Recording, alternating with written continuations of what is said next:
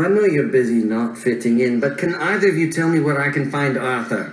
He's over there.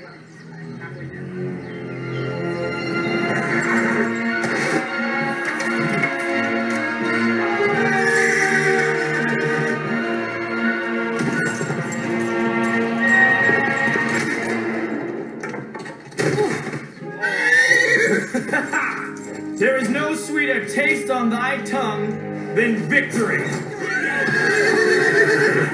Strong, handsome, face of a leader?